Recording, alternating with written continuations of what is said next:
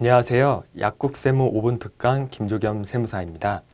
오늘은 약국 개국 필수 업무인 건강보험 심사평가원과 건강보험공단 등록 절차에 대해서 알아보겠습니다. 첫 시간에 안내드린 대로 건강보험 심사평가원과 건강보험공단은 약국 개국 초기에 필수적으로 진행해야 하는 업무입니다. 먼저 건강보험 심사평가원은 요양기간 부호 부여와 지급계좌 신고, 요양급여 신청의 필수적인 기간이고 건강보험공단은 관련 업무를 위해 공인인증서를 발급받으시거나 추후에 매출 신고 자료 조회를 위해서 가입을 해야 하는 기관인 것입니다. 예전에는 약국 개설 신고 시에 보건소에 서면으로 접수하는 경우가 많다고 말씀을 드렸었는데요. 약국 개설 신고를 서면으로 접수하는 경우에 보건의료자원 통합신고 포털에서 별도로 약국 개설 신고를 다시 해야 하는 불편한 점이 많이 있으셨습니다.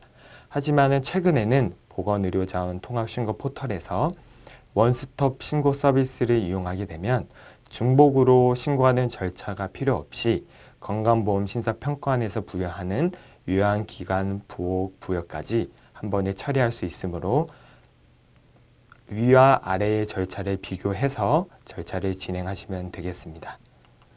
보건의료자원 통합신고 포털에서는 공인증서 또는 휴대폰 인증으로 가입을 하시고 빨간색으로 표시해드린 표시처럼 원스톱 신고 여부만 체크해서 접수를 하시면 됩니다.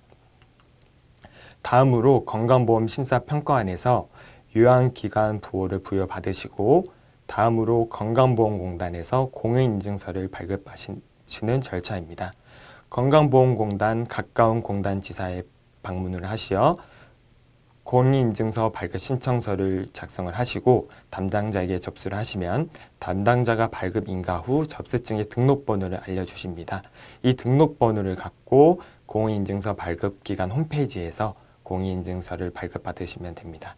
공인인증서를 발급받으신 이후에는 건강보험심사평가원에서 회원가입을 하시고 세무서에서 발급받은 사업자 등록증과 사업료 통장 사본을 함께 접수하여 제출하시면 건강보험 심사평가원에 지급계좌 신고까지 모두 완료가 되시는 겁니다. 이러한 건강보험 심사평가원과 건강보험공단의 관련 업무는 여러 가지 전산 프로그램과 보안 프로그램 설치 등 여러 가지 어려운 점이 있으실 텐데요.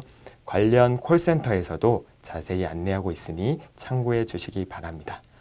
그럼 지금까지 건강보험심사평가원과 건강보험공단 등록 절차에 대해 알아보았습니다. 저는 약국세무 5분 특강 김조겸 세무사입니다.